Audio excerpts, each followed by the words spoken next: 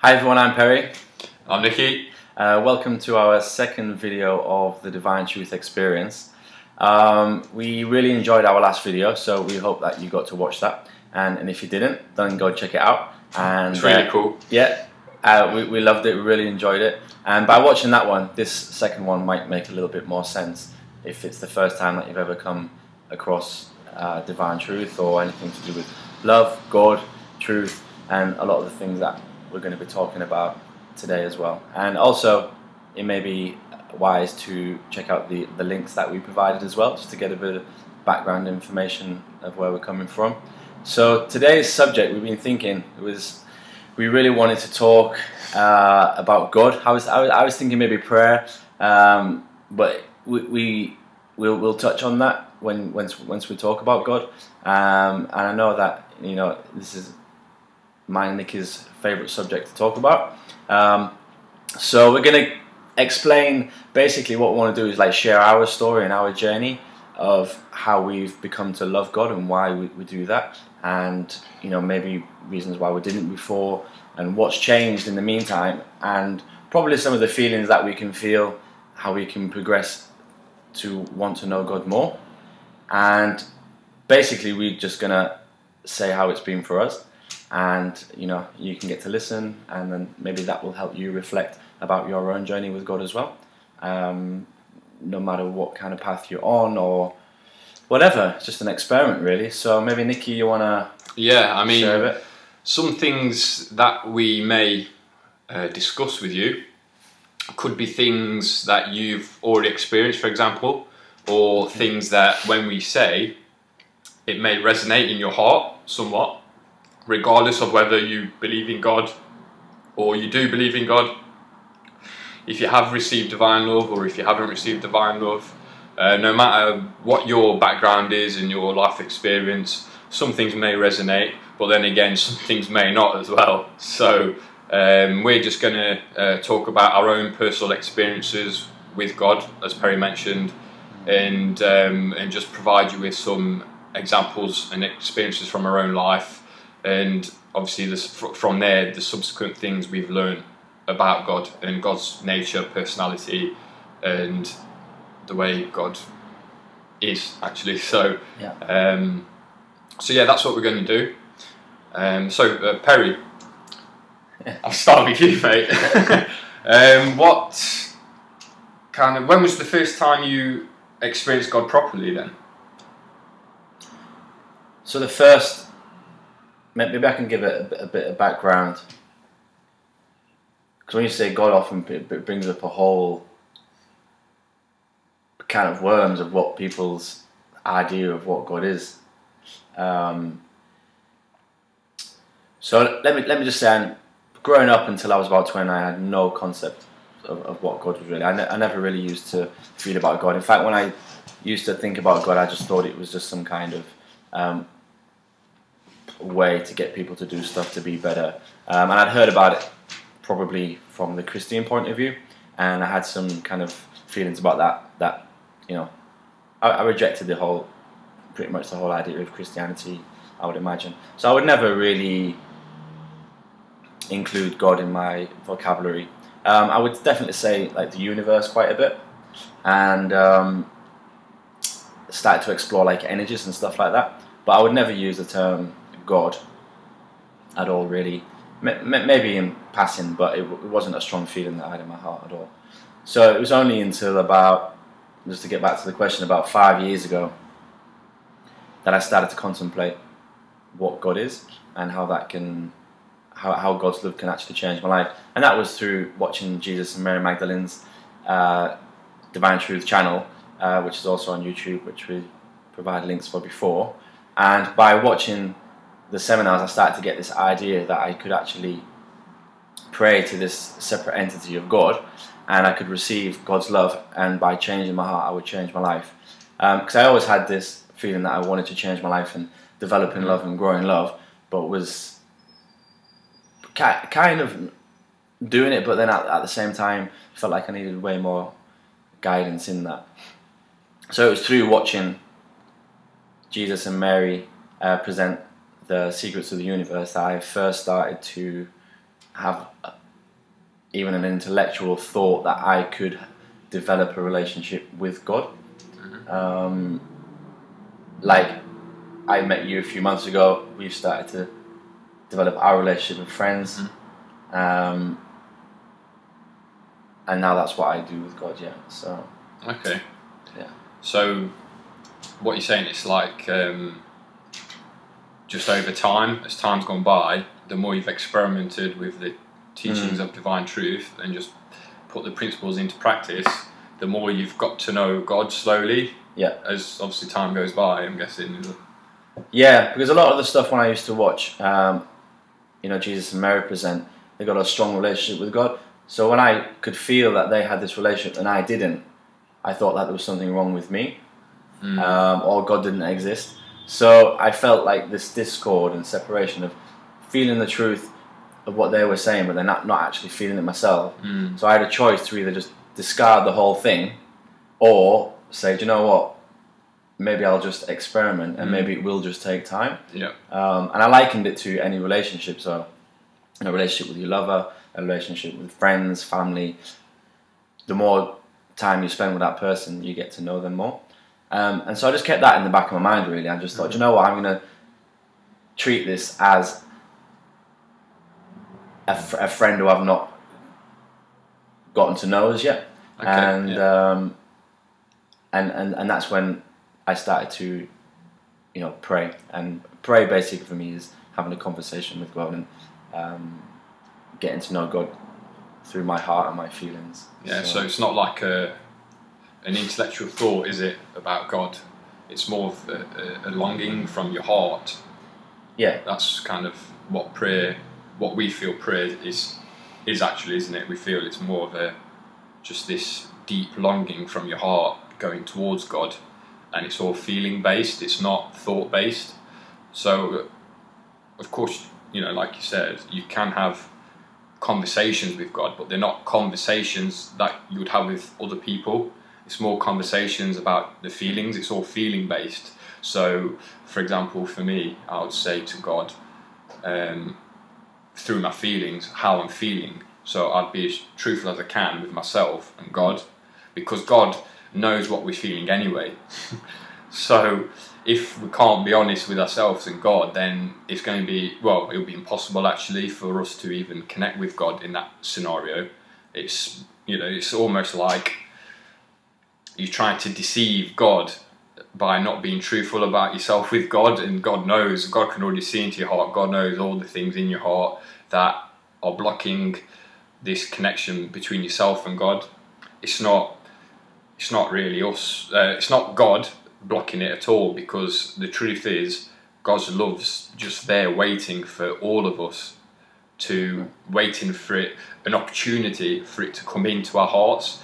And the only thing that stops us is our own choices, our own decisions, and also obviously the it's the feelings we we have in our heart that blocks the reception of God's love, depending on things that have happened to us when we were Yeah. usually um, a child. So usually up until the age of seven, and then from then as we've um, as we've grown older and start making more of our own decisions and choices, then all of that's compounded the uh, blockages that we feel in our hearts towards God.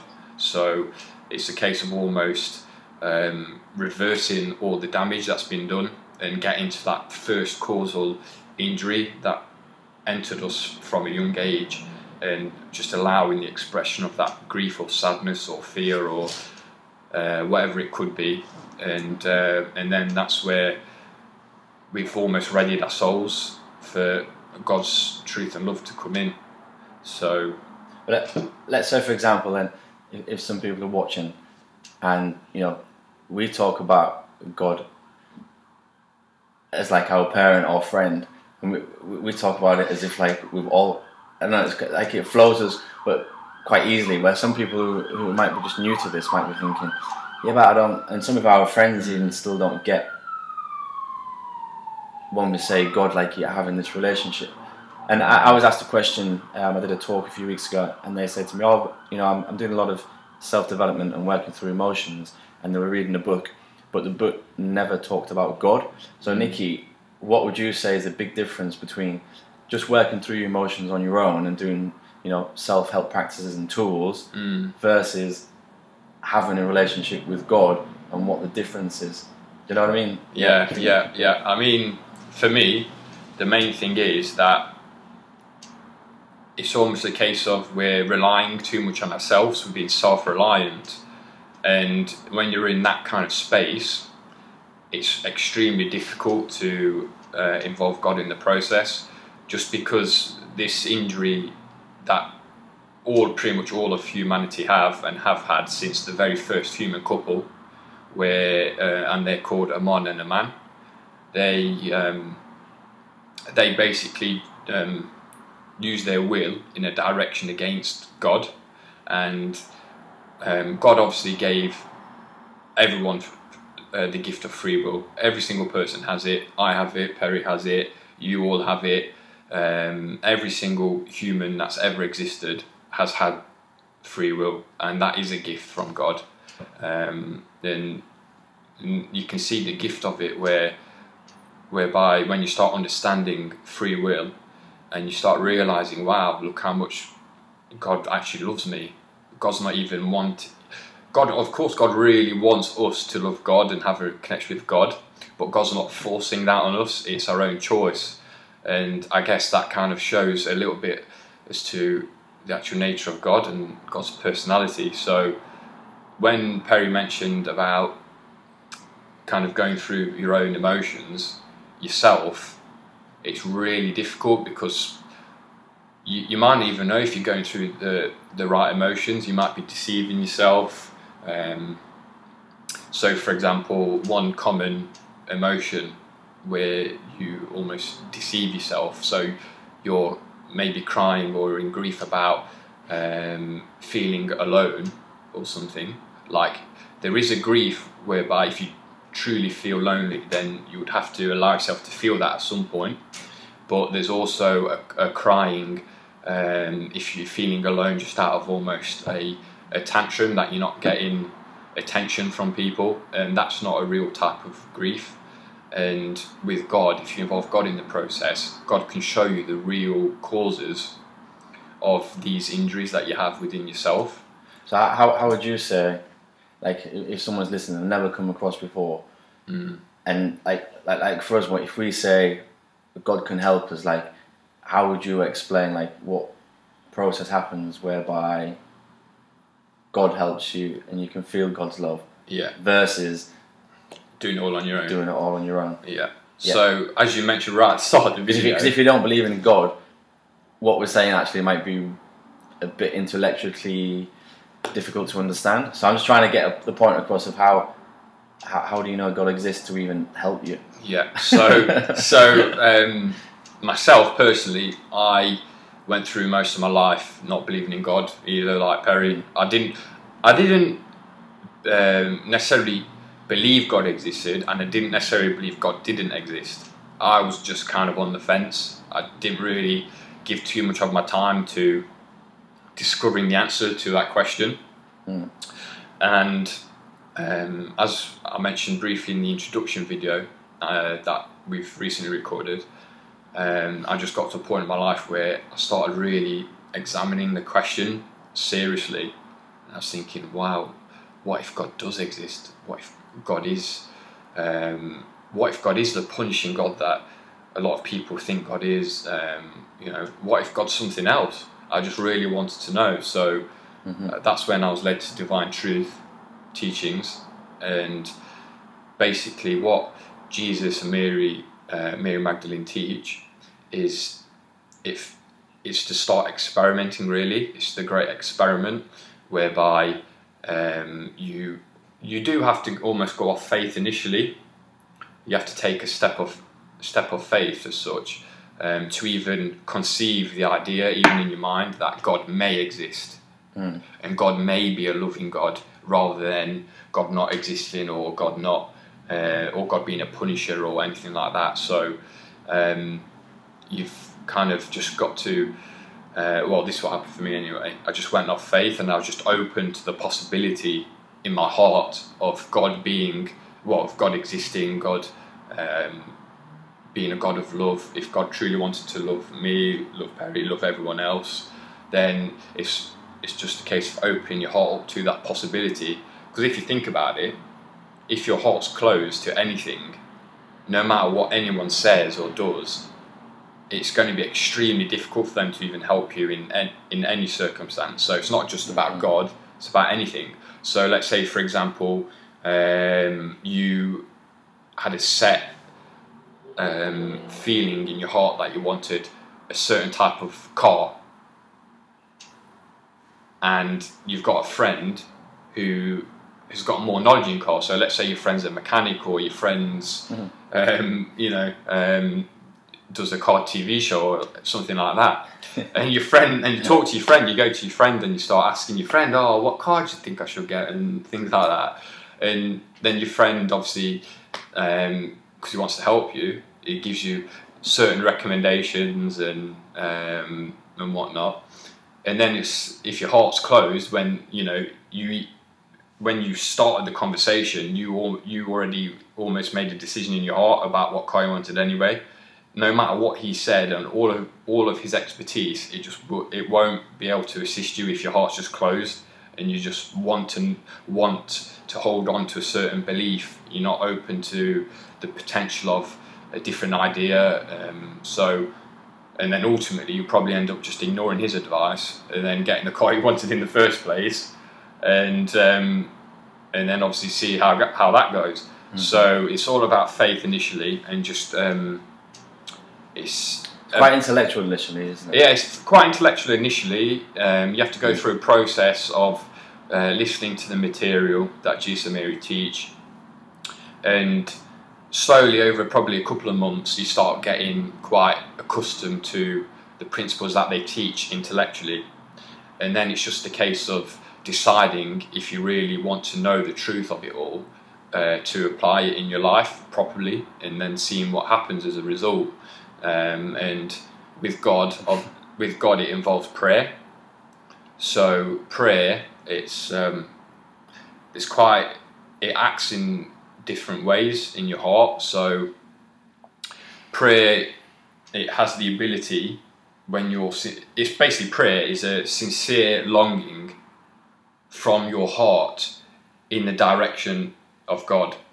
So it's a, it's almost like a, a commu- communion between yourself and God, nobody else. It's directed towards God, and it's where you just really want to connect with God sincerely and in truth. It won't work if you're not being truthful with yourself.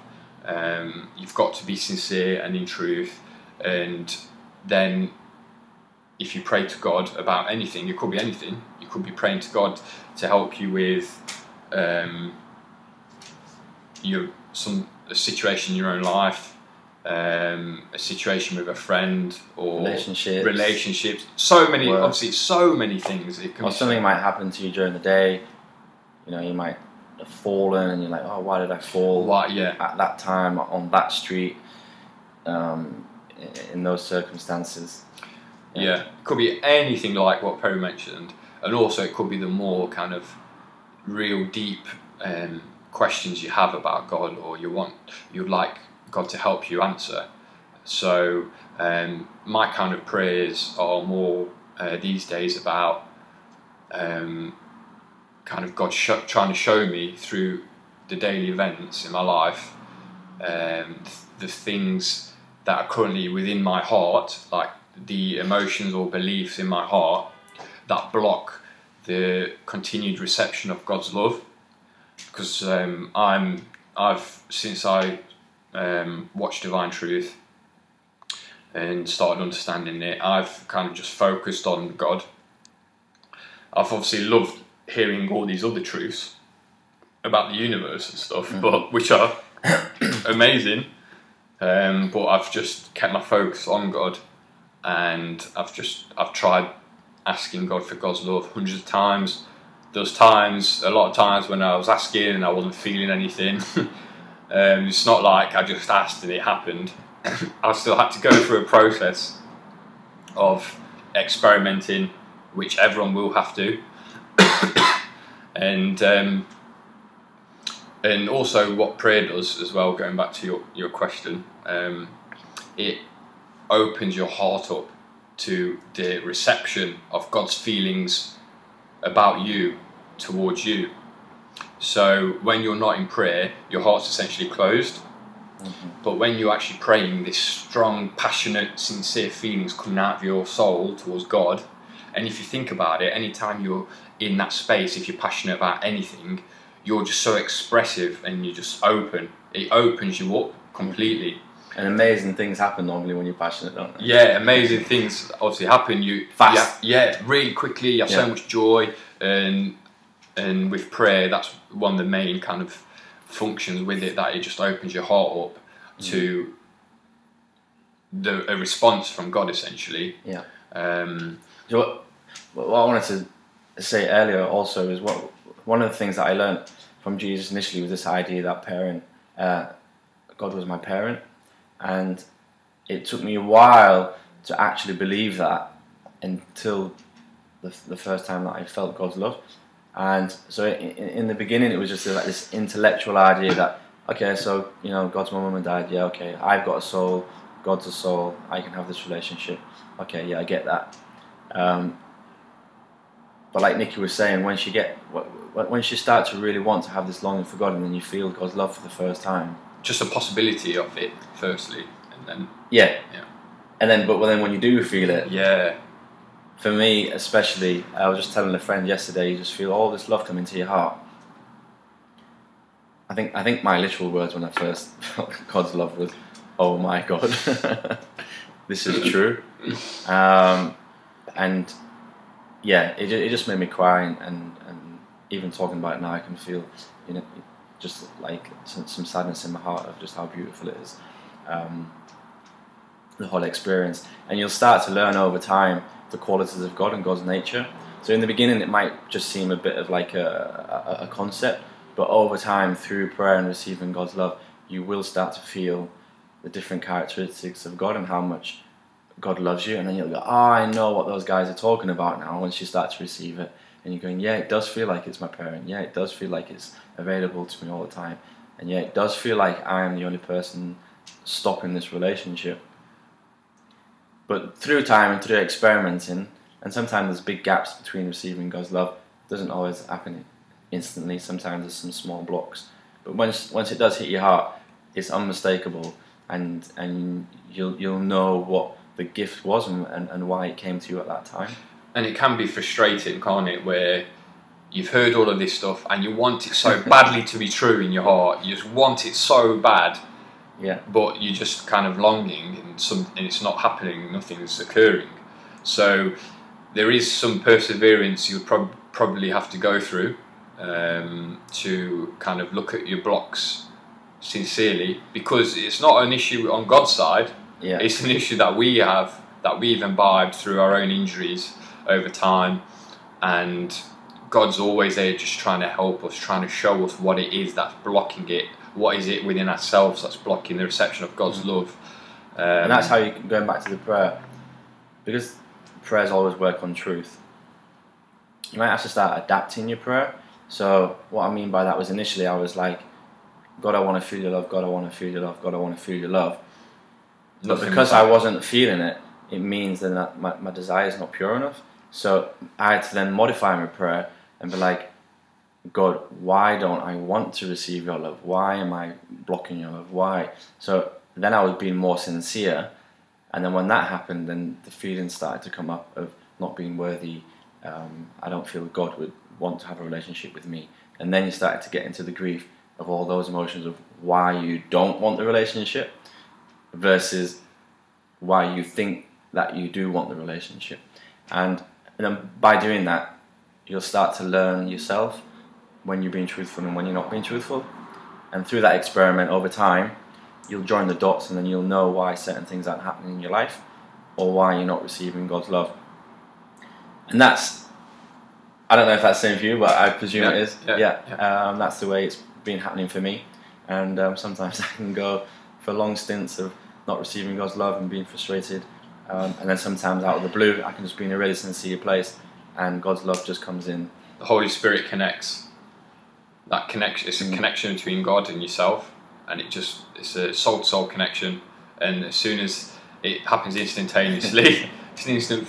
Um, it's an instant mechanism, and as soon as it connects, that's when you're in that space with God, and God's truth and God's love can flow um, to you. But also, your feelings go towards God. hmm Like God would love us to express our love towards God, and due to the, the gift of free will, God obviously can't demand that from us. God will never demand that anyway because demand is not love. But um, it's us um, expressing our love towards God. It's something that God can't get unless you want to give it.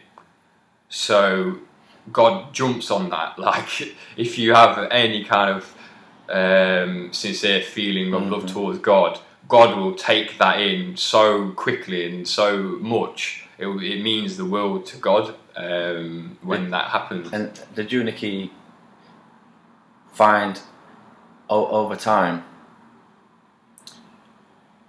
your desire for God increases oh yeah. just for the love of wanting to love God? So, it, let me give you an answer. In the, in the beginning, I was quite selfish with my prayers, and I just wanted God to fix me, and that was it. And that was my my main fascination, really. Um, but then over time, I started to think about how I could love God and how I could develop my relationship with God, and that then started to become really important. And I think that's where a lot. Of, I think a lot of people will stumble in the beginning of just wanting to be in it for themselves. Um, but I think I It's don't a know, process, It's a isn't it? process. Yeah, I think at the start, everyone yeah, will have a feeling in them that they want a relationship with God for their own benefit to help them, and God does fix you. yeah. if you if you want it and if you allow it, God will fix you. God will clear all these um, dark, painful feelings from you. Mhm. Um, but you'll have to help yourself first to want to experience them for yourself. And once you do that and take responsibility for it, then God will instantly just run towards you and assist in the whole process of letting you go through whatever emotion it could be because God knows that emotion that entered you wasn't from God. It was from uh, either your mum or your dad or your siblings or any other person who was around you or had an influence in your life when you were young. So anywhere between conception actually is uh, from when you conceived to usually the age of seven or eight. So emotions do these injuries do enter you before you're even born. So when you're in the womb, they can still come in because it's the feelings predominantly from the mum that enter you, but also the some feelings from the father can come in as well. Um, and these are all errors, uh, emotional errors that our parents have, that all parents have, because no one on earth at the moment is perfect. So um, no child is going to uh, be perfect until obviously their parents first are in a state of perfection. Um, I, I, or perfect natural love, I guess. Um, just the the um, the, um, the perfect natural being. So when a man and a man, the first human couple, when they came into existence, they were technically a sixth sixth sphere condition of love, and that's the perfected human being. So um, everything you know you you would do in that state would be, or it would be in alignment with all of uh, God's moral and ethical uh, laws, and that's how that works. You just be in harmony with crea- creation. Um, but in the beginning, you may not No. know what that standard is until you start to yeah, you start won't. you won't have a clue. when yeah. you're creating pain in your life, then you start to discover. You go, oh yeah, this Yeah. is not moral. This is not ethical, and this and this and this and this. And that's how through the relationship with God, once you start to receive God's love about things, you kind of automatically start to do. it accelerates everything, doesn't it? Uh, with if you uh, Yeah. receive God's love and you're in a position to receive it and you do feel it, you're, it changes you as a person so rapidly.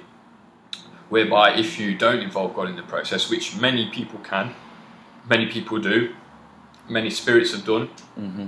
there now there's millions of spirits in the spirit world in a sixth sphere condition of love um, on the natural love path, uh, where they haven't involved God in the process, and they're in a really beautiful space. I, I obviously I haven't. This is my first life. I've not actually experienced the spirit world as such um, properly, um, but through what Jesus teaches, I feel what he says is the truth about um, these spirits in the sixth sphere condition of love, where they're in a really great place. It's we can't. It's still that great that we can't even conceive the beauty of it on earth. It, we can't. Um, so it also that also shows um, how amazing God is. That even if we choose to not involve God in the process, we can still have um, a lot of enjoyment in our lives and really um, a lot of happiness. Um, but even then, these spirits who are in a sixth sphere condition, they're quite intellect, they're extremely intellectually developed, whereas the heart's not developed as, as much as their, their mind has been. And the mind has a certain capacity, the intellectual capacity, whereby once you get to a certain point, you cannot grow further and you cannot experience more happiness. And that's where then God, if you involve God in the process and you want to build your relationship with God, that's when then your happiness can then progress from that uh, ceiling or that capping point of the natural love path, and then you can progress even higher and higher and higher and infinitely towards God mm-hmm. through feelings, through through your own feeling connection with God. And if you think about it, God's love is a feeling; it's not a thought.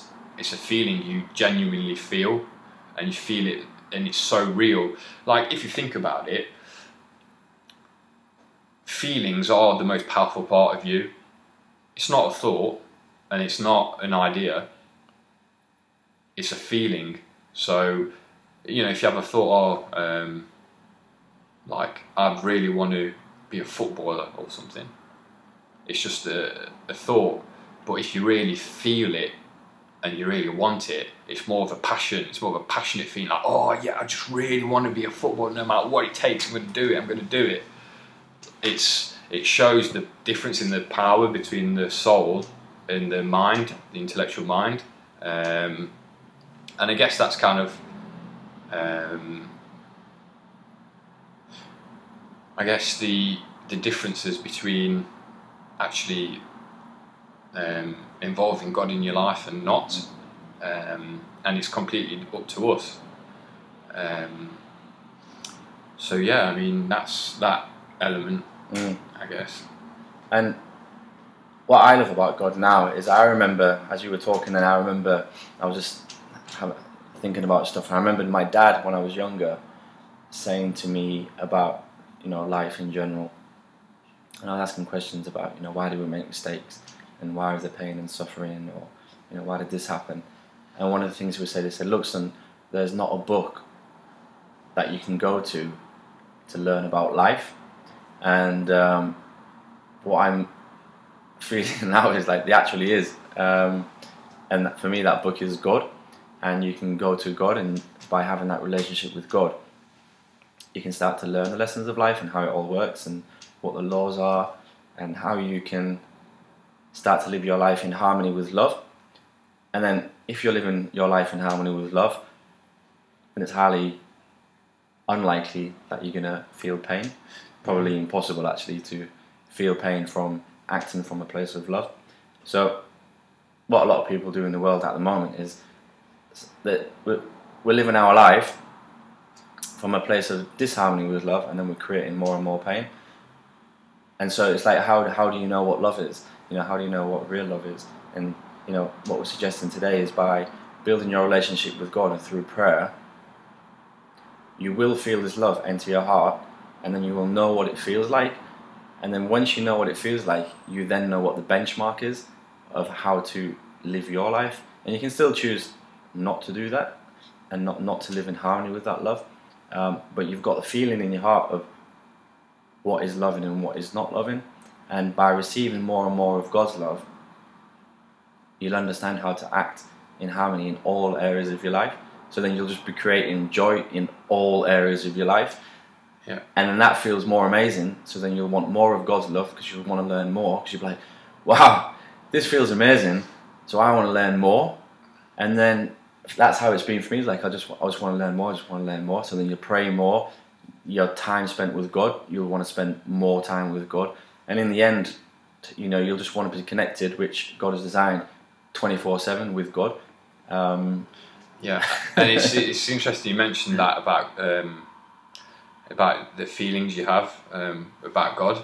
So um, when you uh, were talking about the more you see of God's love, the more actions and feelings you take that are that are in harmony with God, um, and you start realizing the ones that aren't, you get to a point where you just can't even do it. You just can't even do an unloving action in that area if you receive God's truth and love and God's truth's been written on your heart. You can't physically even like force yourself to do that action just because of you know how much pain you will feel as a result of that, and it's a choice. Obviously, it's a choice.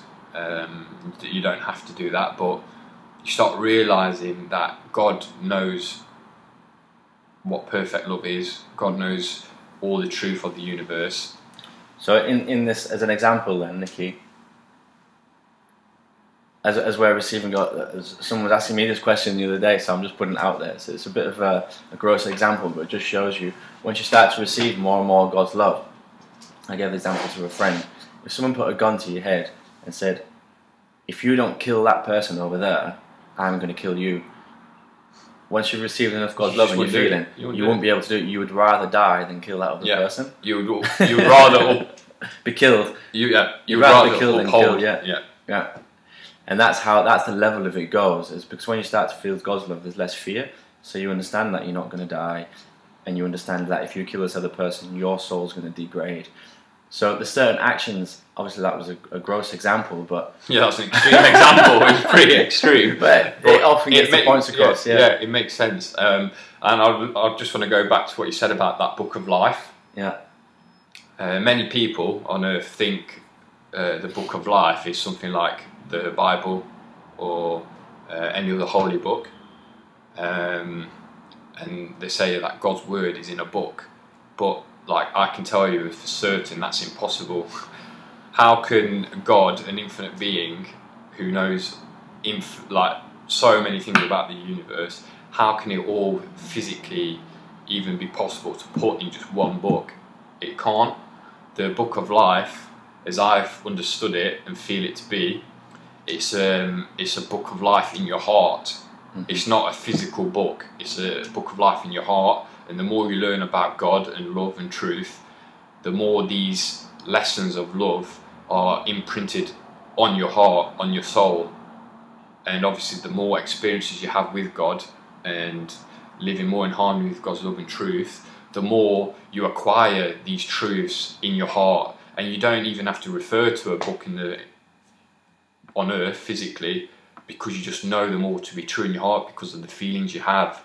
Um, so that's that's just something I, I really wanted to make clear that it's all feelings. It's not you have to study. you don't have well you have to, It's- it's- it's, it's a way of studying, but it's not like Yeah. physical studying, like Yeah. reading a book and Yeah. and almost kind of saying oh yeah, to revise yeah certain paragraphs. Yeah. you just know it in your heart that that's And it's like if you read something, let's say for example in the Bible where it says, "I must not commit adultery" or something, and you're saying in, in, in your head, oh, "I must not do it. I must not do it. I must not do it," but in your heart, your your automatic feelings are towards other people, and mm-hmm. maybe look, you know, your desire in your heart is impure, where you want to actually commit it, and the only reason you don't is because you fear the punishment or the consequences of such an action, so you don't do it. And really, what that is, it's almost you're still living in a state of fear because the only thing that's stopping you is the consequences that may happen to you as a, re- as a result. And God doesn't want us to come to God through fear. Um, it, God wants us to come to God through love and truth. So what you're saying is, once you know God's truth about that situation, the love will enter your heart, and then you wouldn't even have a des- the Yeah. thought of committing adultery wouldn't even enter your head. You wouldn't Yeah. have to stop Yeah. yourself. Yeah, you wouldn't at all. It You just wouldn't dream of doing it. you wouldn't dream of you wouldn't have a desire to do it Yeah. because God's love changes your heart in that area that you receive God's uh, God's truth in. So, um, if you do have these urges to maybe commit adultery or something in your life, um, and you're just kind of suppressing it all in your head by saying, "Oh, I know I shouldn't do it, Shouldn't but do it, shouldn't do I shouldn't do it, I shouldn't do it, but I really want to and want to. There'll probably become a point in the future where you do end up doing it because that is the feeling, and the feelings Yeah. are more dominant and powerful over a mind You can uh, be idea. manipulated. Yeah, and you can easily be manipulated in that space. But once God's love has worked on your soul in that area, then the causes of such a, um, an unloving action are like they're automatically removed from your soul. So that urge is gone, and you don't have it Forever. forever. That's what I love about it. Like it's forever. Like a lot of the stuff that I've done, a lot of the healing work in the past would be like temporary fixes, and then they would still come up later. But once you start to feel feel God's love in your heart and it changes your soul, it's like that pain has gone forever and ever and ever and ever and ever. And obviously, I. I I don't remember my sleep state, so I don't know what I'm like in the spirit world. So I, I'm a little bit curious to see what happens when I die and see the changes that have happened and be able to look back in my life and reflect. I can do it now, obviously, and see how I've changed over the years. Um, but I'm kind of a little bit curious to see what happens when you pass over and you can see. It's when you hit the The- point of recollection, isn't it?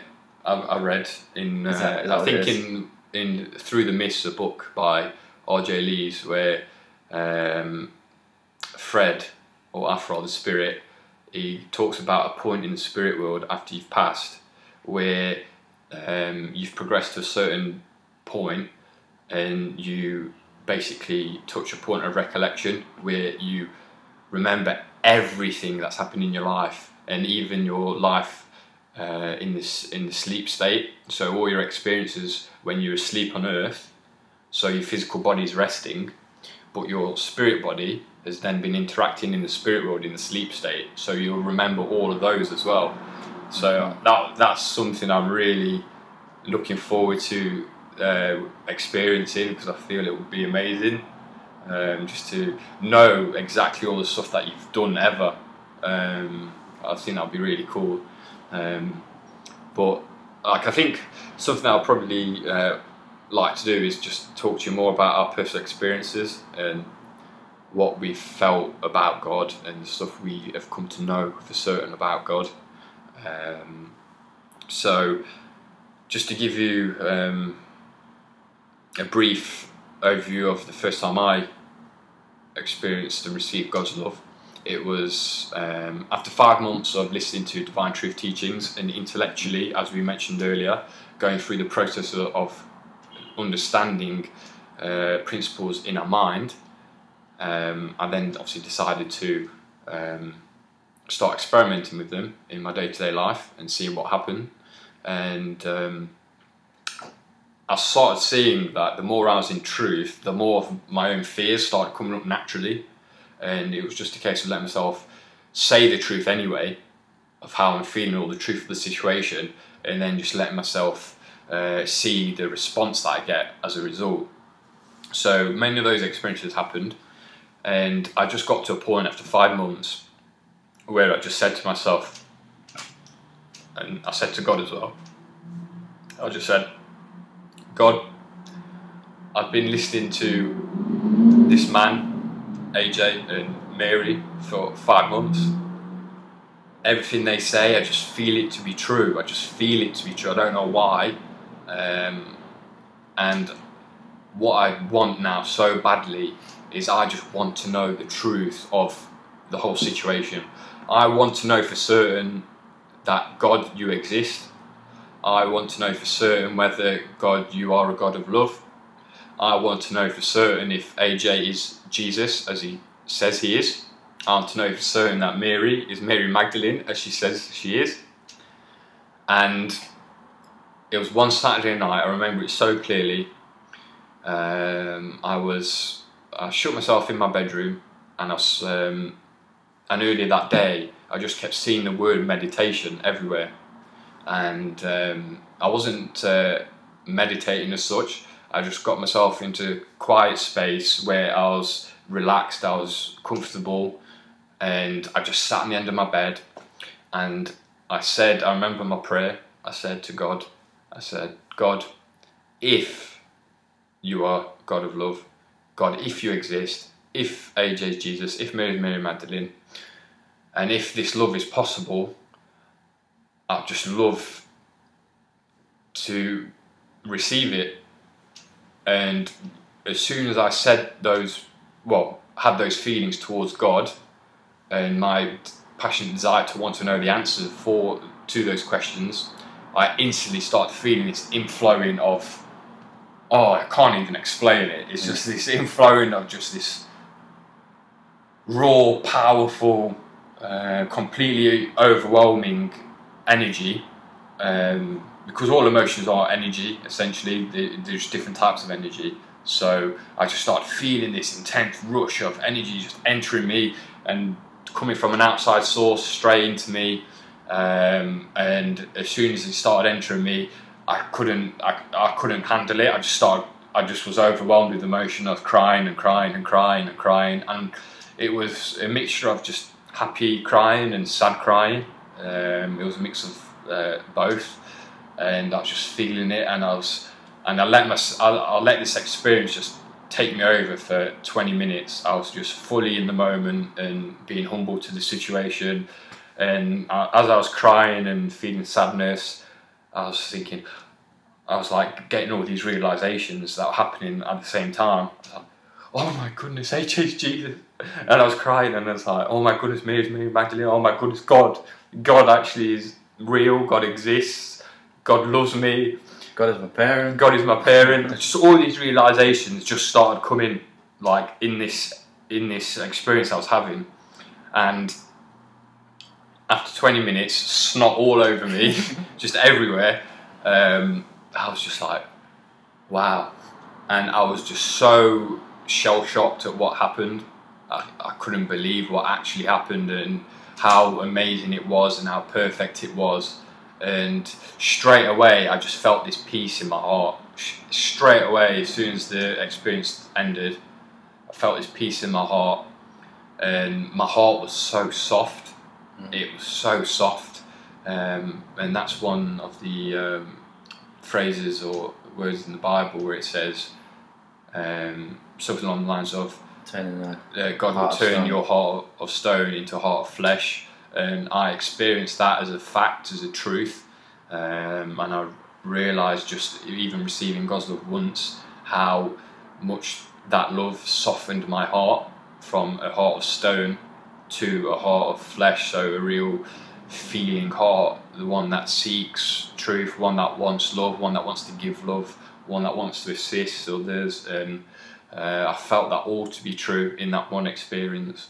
Um, and the great thing is every time I've received God's love and I've had a big experience with it, I've the next day or two after that, it's just the most amazing feeling. You just have this peace in your heart that you carry around with you, and the things that usually kind of bother you on a day-to-day basis, you know, these mm. little tiny things, they just don't affect you at all in those couple of days after you receive God's love and you're in this amazing space.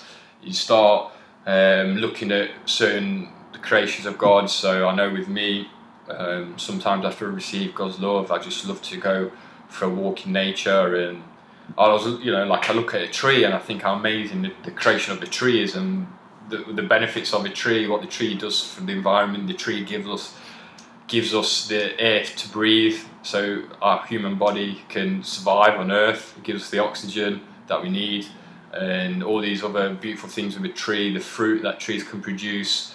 Um, you know, one is, is, almost the abundance of the creation. So one tree can produce thousands of different pieces of fruit, um, and seeing like the birds in the sky. Um, and, what, and, what, about Nicky? The, um, the, the the feeling of God's love is actually a gift. How amazing is that? Like, yeah. I remember I was I was seeing Nicky before I met him on one of the assistance groups on YouTube, and he said one of the one of the things which amazed me, and it, it made me smile. Before we knew each other. Yeah, it made me smile when he said it. It's the what's one of the things that happens when you receive God's love. And often what will happen is like it feels like you're praying for one thing, but then you'll just receive so much more. So much more. so, So much the, more. the thing that you thought you were praying for, like you kind of that was kind of almost secondary in the end. yeah, And it's like God's love knows what the real cause of the sadness was, and then it's like, oh my God, you actually thought about that as well, and you and God wants to give us that as well. and you, you end up receiving way more Way than you more. bargained for. Way more than you asked for. Way more. It's it's amazing. And that and that that when that happened to me when I had that realization, I just cried even more because you just then start to feel how thoughtful and kind God is um, in taking care of you. Yeah, and it's amazing. Like Jesus said to me in that video when I went to Australia last year to an assistance group, he said to me when I said that to him, he came up with a very logical uh, response back to me. He says, "Well, think about it. If you know you're you're in a relationship with a girl, and um, you really love her, you want to make her breakfast when she asked for it. You want to give her all." You know all, all these other things because you love her and you want to do that for her out of the love you have and God is like that with us, but God's more. It's God is more powerful with that than we can be because God is God. God is our parent. God knows what perfect love is. God knows what perfect truth is. God knows us perfectly, perfectly. God knows exactly the things that we would love to receive from God. And any time more more, more than we do. yeah, more than we do ourselves. And Yeah. so it's it's almost like It's a big surprise. when your heart's opened a tiny bit to God, so you've taken one step out in, into the wilderness, as such, um, and you've taken one step towards God, and it's almost like God just rushes to towards you. He, God, as soon as God can sniff the tiniest opportunity to connect with you properly and um, and give you some of God's love, the feelings of love that God has towards you, God will jump at that opportunity instantly, and it's an instant thing. As soon as there's a cracking of um, uh, a, a, a pure, sincere desire in your heart, God will run to that and give you as Yeah. much as God can possibly fit in. And I, I've, I found through my experience of receiving God's love was that the speed at which it happened of, of, of feeling the love come into my heart, before I'd even finished my prayer, the love was coming in. So it made me realize that God even knew that I was going to pray that prayer at that time and was already setting everything in place To respond, for me to go into that emotion and feel the love. And that for me, even saying it now makes me well up because it just shows you how much care God had in place for you to, to help you go through some of these emotions and want to feel God's love. It's like that's how ready God is to want to be a part of your life. And the, the, sadness for me was like, you know, I'm not that ready. Like I prefer not to feel that. But once you experience it, and then you, you, you, you know that God must have been there before you even started your prayer. It's, it's just so overwhelming and beautiful. It's I can't wait for you to experience it. And if you have already, then you'll know what I mean. Yeah, you will Yeah. know exactly what we're talking about. but um, it's when you receive God's love, you start coming to all these realizations, and all this sadness starts coming up in your heart about things you thought were true when you were younger, and uh, all these concepts about love that you had, and you start you start realizing that they weren't true. And all this pain that you feel that is due to the errors, so the untruth that has entered us from when we were conceived onwards. And uh, once you start realizing that what real love is because God's love is the real love it's perfect love. Once you start realizing that properly in your heart? That automatically this sadness comes up and if you let yourself just grieve the sadness then more of God's love can come in and the more God can show you things about yourself about God about the universe that you've completely you know you never knew was possible really. Um, like one amazing time I received God's love was when I um, I was going through some grief about um, like some realizations about the way my mum um, treated me um, in terms of it was no physical abuse but it was um, it was where if like my mum would only make me feel loved and special if I almost did the stuff that she wanted me to do. And I was feeling, I got to quite a lot of sadness about the grief I um, I felt at that, um, and the sadness and the feeling of like I was I've I've been growing up to believe that women are more superior than men. Women are more superior than me. Like I've grown up believing that lo- real love is that I should do whatever a woman asks of me, and if I don't, I'm in big trouble. I either you know get anger at, at me, given back at me, or I get this, which is I feel worse. This withdraw, withdraw. Uh, I can't even say it. This withdrawal of love. So like this passive aggressive kind of feeling that um, because I didn't do something that mum my mum wanted me to do, a feeling that she wanted me to give to her, then I didn't feel loved. And so my whole life I've kind of taken that injury on and it's affected all my relationships with with girls. Um, I've only ever had one real relationship, uh, and that lasted for, for like five and a half years. Um, and I've still got sadness about it now because I'm I can feel it. Um, and I can I could have let myself cry more about it just now, but um, I I kind of want to explain it more to to you. Um, but once I was letting myself feel the sadness of it and the feeling of being used and manipulated, um, and realizing that God's not like that, God knows that women are as equal to men as men are to women. We're completely equal um, and truth, or by remaining in truth, it's almost like you're opening yourself up to receiving all of this anger back at you, just for being more in harmony with God. And it's just about letting yourself grieve all of that uh, and the unfairness of it all. Um, and it was amazing because I was as I was grieving those feelings, um, I had my eyes closed, just crying my eyes out, and it was real deep grieving. Um, I um, I then felt this circle of um, sp- spirits around me. So people on earth who have passed and are now in spirit form, um, in the spirit world. I just felt this like I was in the middle of this big circle, and I just felt all these different spirits just around me in a circle and I, I just started feeling all of their love just entering me all at the same time and then I as that was happening I was getting obviously more and more overwhelmed with it and then that's when I was longing for God's love and then God's love came in and that was even more obviously intense and I was completely overwhelmed and I just let that experience happen and realizing that God's just saying to me look I know what happened I know the the damage that you've received, um, and I'm going to help clear this from you to make you happier. Um, and I was, it almost felt to me like because it's a feeling, but it's a feeling with your soul. Like you can see God, but through feelings. It's not you, you don't see, you don't hear God's voice. You don't see uh, an image of a person or uh, or God. It's all through feelings. So I was seeing with my soul perceptions what God, like the nature of God and what God was doing for me. Like it, was almost seeing like God was patting me on the back, just saying, "It's fine, it's okay, just go through it. This is this is just an injury that you were brought up with that's been affecting your whole life. Just allow yourself to go through it. I will help you as much as I can. I will give you as much love as I can while you're feeling this."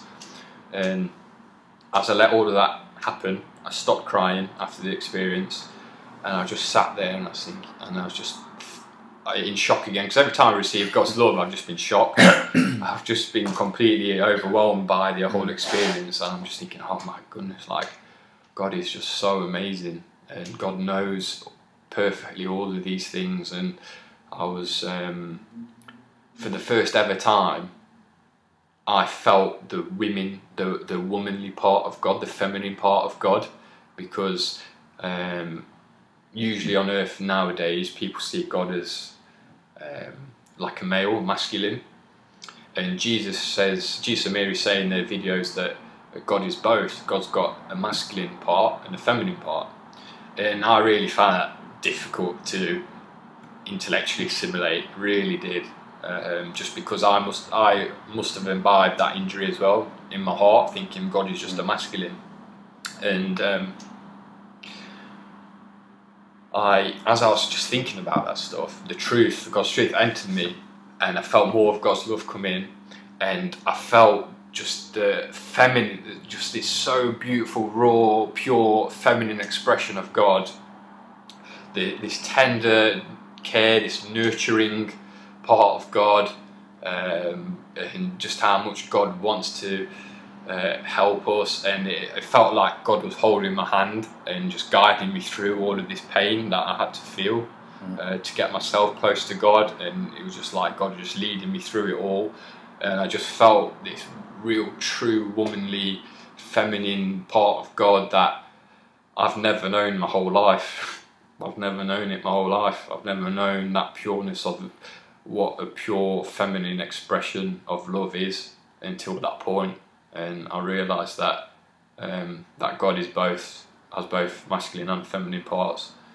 Um, and yeah, I mean, like now I'm, I'm crying a bit because of it. Um, still got more sadness to go through. Um, so we, you know, we, you can see we're not we're not perfect. We've still got a lot of sadness, and the more we talk about our own experiences and go through these feelings, the more these feelings leave us or release from us, the closer we'll become with God and the more happy we'll be.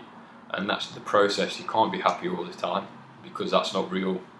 Um, you've got to go through the pain um, and let yourself experience it and know that God will always be there for you when you are in that space.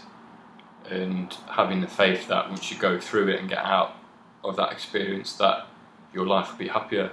And that's what I've learned so much about God um, just how much God's there. Like, I can feel God now as I'm talking. Um, it's making me uh, it's making me cry.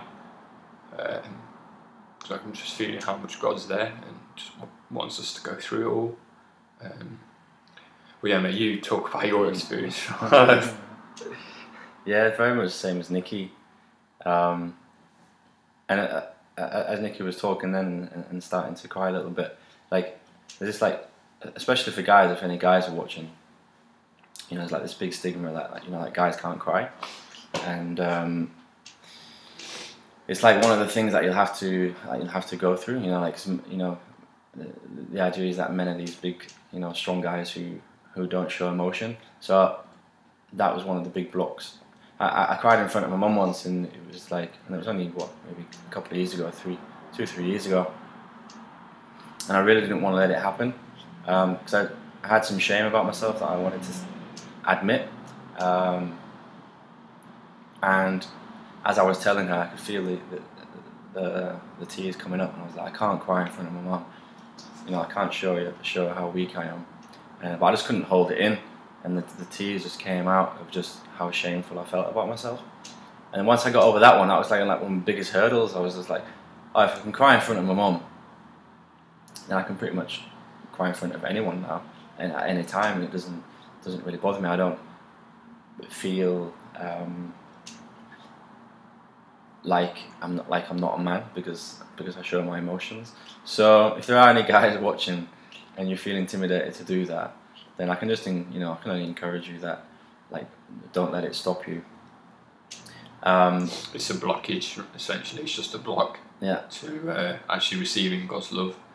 And, and, and, when you feel God's love, I, I experienced it the same as Nicky. You just, I, I, for, for, me, my prayers initially were quite out of desperation because um, I had quite a lot of depression in, my, my teenage years and twenties, and whenever I feel God's love, it just feels like these arms just swoop me up and cradle me, and just let me know that, that I'm loved, and and it's all to do with love, and it's it's so simple, and we you know we talk about love all the time, and anything what's happening in the world at the moment in a negative way is it's just because there's a lack of love there, and what I want to start doing is start leading my life in a loving way, so I can start to demonstrate like love in action, um, but I can only do that perfectly if I feel what God feels about that, because God created the universe and how everything works. So you know, it'll be a process of where I'll start and already start to demonstrate different areas of my life where I'm being more loving, and people start to notice and ask questions why I do certain things. And in the future, I know that there's more things that I want to do. Uh, and by receiving God's love, I will then be able to act in harmony with that. So before I talked about this benchmark of love, at the moment I've just got my version or my my environment's version or my parents' version. But as I start to feel God's love about things, I'll be able to act from a place that maybe a lot of the world haven't seen before.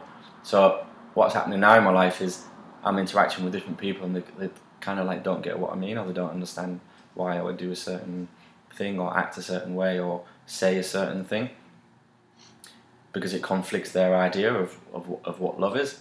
Because my feeling is there's, there's not a massive amount of people in the world at the moment acting in harmony with, with God's love.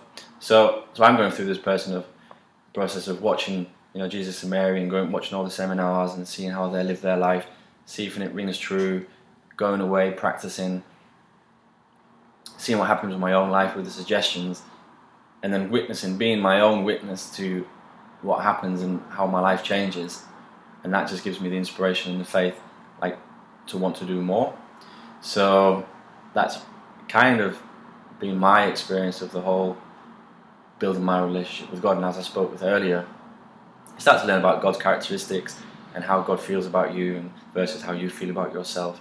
And basically, what I want to do is I just want to fill myself up with so much love that I eventually love myself with the same amount of passion and love as God loves me. And then at that point, I'll become perfect. Someone said to me the other day, You can't become perfect. But I've got this strong feeling in me that I can become perfect. I mean, don't become like so hard on yourself. You know, you're making small mistakes and then you just, you know, batter yourself down because I'm quite accustomed to that as well. So, but I do believe that perfection can be attained. And just through this process of receiving God's love, that one day I will become perfect. And then what that means will every thought, feeling, or action that I do will, will be loving. And so it means I can't destroy anything, I can't create a negative situation um, because I've got God's feeling about stuff. And God doesn't destroy anything, it's just expansive, creating, growing, um, and it goes on for eternity. So, with that in mind, that's the basis of of how I want to live my life at the moment, and I've got ideas and plans in the future to um, make more things happen uh, in regarding love and helping people and stuff. So, yeah. I mean, one um, one thing I like to say is that a lot of young people, I'm 26, um, a lot of young people see God and is just really uncool like there's just this feeling. Uh, I feel a lot of young people have that God's uncool, and mm. it's almost like people shit like other young people try and shame you about God and like, mm. oh, why are you, you know, why are you bothered about like, why are you so bothered about God? And, and it's almost this feeling like it's not a cool thing to do. But like I find that really weird because if you look at the people all all these young people, such as myself, look up to all these music artists, these sports people. So many of them believe in God. Yeah. Because they're in their passions, they're in their desires, and they know how much God, uh, they know the gifts that God gave to them in that certain regard, in that aspect, and they have a lot of gratitude and thanks towards God for that, and they can understand and appreciate God's um, involvement in their life and all these young, all these uh, people on their Facebook pages, their Instagram pages, these famous people, they so many of them say, "Oh, um, I thank God so much for this, yeah. thank God for this, thank God for that," and then all these young people who idolize these famous people, they don't feel that. They don't feel that. They don't see yeah. that as truth. They're just like just want the fame bit. yeah, it's like they just see the fame of it all and stuff, and um, and then like these people kind of themselves they've got all these feelings about God like they feel like you know if it's, it's not cool to to uh, love God or have a relationship with God. And I can tell you for certain, God is the coolest. God is the coolest being ever. Like God would, oh, like God is the coolest being ever. Um, and you start the more you connect with God, the more you start understanding these things about God and just how amazing God is. So um, that's just something that Mm. I would just love to bring up, just because I feel it's quite a common misconception about for, for people, especially young young people, Mm. about God. And I think also like you're saying, like if then like teenagers watching and stuff, like I remember being a teenager and I, I didn't like it all. Didn't really have any role models, um, and God can be your best role model ever. Because I know that when I was a teenager, I felt alone quite a bit, and often quite scared about what was going to happen in my future. There's a lot of massive things happening. So if you haven't got anyone, or even if you have got someone, you know, especially if you haven't got anyone to talk to, I would definitely encourage to build this relationship with God and just take on board what we're saying because God will be your best friend and get you out of any dark space that you're in at the moment. Uh, I feel like just the, the amount of social media I see with young teenagers and and what's it called like the selfie thing what's going on you know it feels like so many young people just want to be seen and be heard and be loved I want approval. and and attention and they're not and you know so all these likes on Facebook and Instagram, Yeah. they're all just for approval, really. Yeah, and i- if you're a little youngster, a little teenager, and uh, this rings true for you, just like think about, you know, the addictions that that's happening and why why you want all this approval, and um, Why do you want? Why is your self, your own self worth uh, impacted by the amount of likes you get on Facebook or the amount of likes you get on a picture of yourself on Instagram? It Yeah. shouldn't be like that. yeah, and I know it's because, you know, you, might you, you want to feel famous and stuff like that, and you see like Nicky was saying earlier, like you look at the celebrities and stuff, um, but believe me, like drop all that. Don't don't strive to be famous for famous sake. And going back to this like this cool thing that we were saying is if you can have a relationship with God, look at some of the seminars that we've uh, directed to through um, th- through these videos, and um, start to experience. And you, you will from a young age start to develop this love for yourself, and you, you won't need to do any of these things that everyone's doing in the world right now with social media, twitters and likes and stuff like that. Like everything will just come to you. And one of my most favorite sayings is, uh, I, I said it in the last video as well, is seek first the kingdom of God and all else will be given. And you will be given so much more than you even imagined of. The, the amount of purity, of the joy that you will get will just make likes on Facebook You seem nothing. Even fame and money and all that stuff, what you imagined. It's not to say that you won't get it. I'm not saying that you, you, you know you follow God and then you won't become famous. That's not what. or I'm you saying. won't have money. Yeah, that's not what I'm saying. I'm saying it's like that these things can come to you, but you'll have such a healthy way of dealing with all these things that you won't destroy yourself with them. I mean, as well as Nicky said, there's a lot of famous people who believe in God and have a healthy relationship. Like you look at all a lot, a lot of celebrities who often then kill themselves, you know, through suicide or many different things, destroy themselves because all that, all, all the stuff that came was just fake and manufactured. They didn't have the feeling It's not the real love. in their in their hearts. So- It's the substance of love that they've been Yeah. seeking for a lot of their life, and they've been trying to get met through, you know, drugs and parties and women or whatever. It's they get to a point where it's just too much for them, and they don't know where else to go, and Mm. and that's where the only way you'll ever be fulfilled truly is if you have a relationship with God and you feel God's love, because God's love is the one substance in the whole universe that can change your whole existence, your whole life. And like uh, one thing, definitely with me, I thought like when I thought of God, I thought, oh, my life's going to be restrictive now. I'm going to have to cut all of this stuff out that I've been doing. I'm going to have to stop drinking alcohol. I'm going to have to stop partying. I'm going to have to stop, you know, doing all of these things that I thought were real enjoyment. I thought I had to just chop all of that. But as over time, as I've got to um, learn more about God and feel God's love, I've started, like, you know, you get to a point where you, you don't want to do that stuff because you know it's not real. You feel it's not real. You feel um, you're actually probably going to be damaging yourself more by doing all of that, affecting your own relationship with God.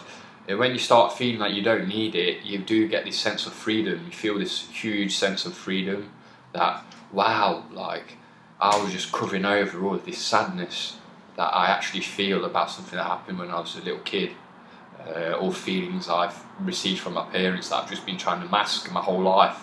Um, and you get it's not restriction, it's freedom when you get to a point where in your heart you don't need it anymore. It's just this amazing freedom, and then all these other possibilities are will open up to you, and God will bring you all these possibilities. Like God wants every single one of us to get to know ourselves and be the true expression of ourselves that God created to be. Like people have music talents, people are, have artistic abilities, people of some people of writing, you know, Building, building. There's so many different facets of of what a person's true nature and personality is, and when you start connecting with what the real passions in your heart are, the ones that God put in your soul uh, specifically, and you connect with them, you'll get so much more joy out of that than any of all these other ways you're trying to seek satisfaction and enjoyment in your life. Um, Like I, I, I used to drink a lot. I used to be a bartender. So I, I sorry. Dr- dr- drinking for me was a, a, a massive thing, and drugs as well. I used to take not a ton of drugs. I wasn't, you know, addicted to drugs, but I used to take a lot of recreational drugs in my late teens and early twenties. And now I just can't think of anything worse, um, because I just know how damaging it is. For me. In fact, I just don't have the desire for it anymore, um, because I just want to be in harmony with love. So there's just different things in my life that I've noticed just the difference um, on how I behave and just in my in my everyday life. So yeah, I don't know if you if there's much more you want to say on development with God, Um, relationship with God, or concept with God. I mean, there's a ton of stuff. There's so many stuff we could say about our own personal experiences with God uh, individually that we've had, and certain truths we've uh, come to learn about God that we went through a process individually about, Mm. and we've come to the exact same conclusion. Um, and there's so so many more, um, but these were just a few of our big kind of experience with God and what we've learned about God, what God means to us, and um, I'm sure in future videos when we're discussing certain other areas of um, divine truth and principles, then I'm sure we'll probably um, use some of our own examples to illustrate the points further Yeah, and whatnot.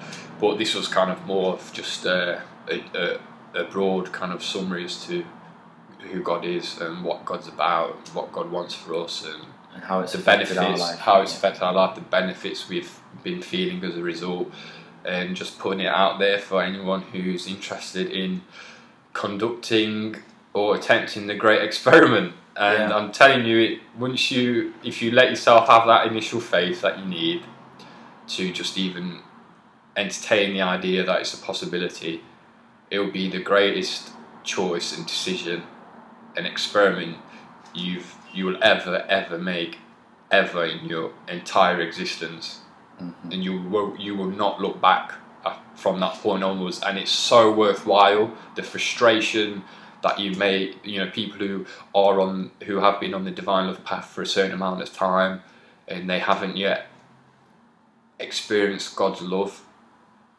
I honestly the the, the pain and the tri- the trials and tribulations you're going through to remove the blocks it is so worthwhile when you receive God's love the first time it is just amazing and you will have such a breakthrough and it, it's I'm really excited to, mm. for for you to experience that when you do and you realize it's all true and what God means and what God's about you will Yeah.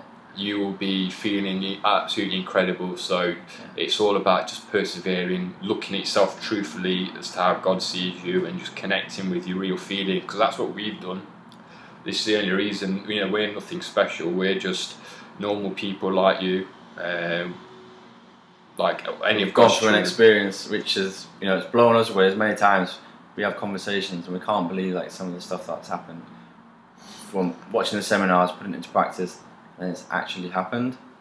Um, well, I, I just felt then to, to if anyone's watching to direct you to the um, the Solomon's message. Oh, Um, what a message! Jesus and Mary did a seminar. You can look on their channel for the Solomon's message, It's a Padgett message. the Padgett message. Yeah. Uh, oh, so they're, they're channeling a message from Solomon. That was right. Uh, James Padgett Yeah. channeled a message from in I think it was like nineteen Mm. something, nineteen eighteen or something from uh, from Solomon, this spirit Solomon from the Bible, uh, King David, one of King David's sons, who was the king after King David. Um, Solomon came to James Padgett and channeled through him a message, um, and it goes something along the lines of, if I remember, the what is the greatest thing in all of the universe? And the first is um, faith and prayer on the part of the human, and divine love on the part of God. The latter is always there, waiting, and the first part allows it to enter into the souls of men. Yeah. Um. Yeah, uh, something on those lines. Yeah. I just tried. Probably my guide was helping me with that, and Then maybe, and maybe Solomon's trying to help me with that as well. But um, And the, the beautiful thing for me at the end was because Nicky was touching on it just before I, I mentioned that was he says try and try again and try again. So it like just keeps keep on don't trying. stop trying. So- so don't, stop give up. trying. Keep going. Keep going. Keep going. Because Solomon is a bloke who's lived over three thousand years, so he knows he must know a thing or two about God and what he believes the most important things or the most important thing in the whole universe is. So, and he's a wise man, so I'd definitely go and trust that and just try it for yourself. Um, because uh, through my experiences, I can say that what he said for me is extremely true. It's extremely true. Faith and prayer on the part of the mortal, and divine love on the part of God. And always realizing that God's love is there constantly waiting, and God's just waiting to give it to you. And the only thing that's stopping it is your own, so, your own soul, yourself, your own fears, your own feelings that block the reception. And just having that initial faith and prayer that opens your heart up to the potentiality of receiving it. It that is the steps to take to get yourself in a point where you can receive it. So, um, so yeah, I think that's Probably that. it. Yeah. Thanks for listening. I'm not sure how how long that was. So if you watched the whole thing, then thank you. Uh, we will be doing more YouTube videos. So this is the second one, and um, we'll choose a different topic each time. So this one was a broad talk about God. and a bit about prayer in there as well. And, yeah. So um, yeah, we uh, we hope that you got something from it, and you can always send us an email. Um, you can go to www.divinetruthhub.com um, to get in contact with us. And if you want to see any of Jesus and Mary's material, you can go to www.divinetruth.com. And there's just hours and hours of seminars that you can watch and go in more in depth of some of the stuff that we talked about. And if you have any questions, you can email us and we can, you know, We'd love to help if Help you we any can. yeah. So thanks for watching, and um, yeah, we'll uh, we'll see you next time. yeah, we'll talk to you soon, guy. Thank Cheers. Bye. Bye.